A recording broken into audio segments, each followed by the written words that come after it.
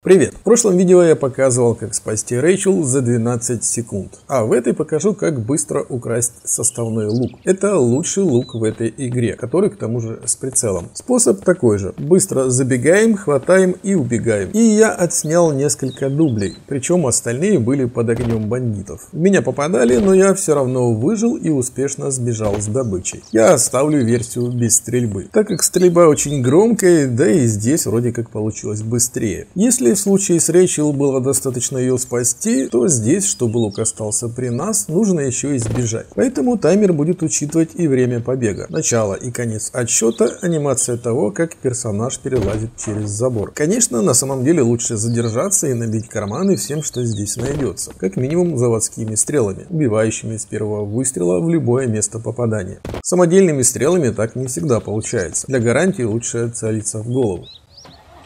Подробнее, что можно вынести из этой комнаты, смотрите в следующей серии моего прохождения. А на этом все. Спасибо за просмотр, всем пока.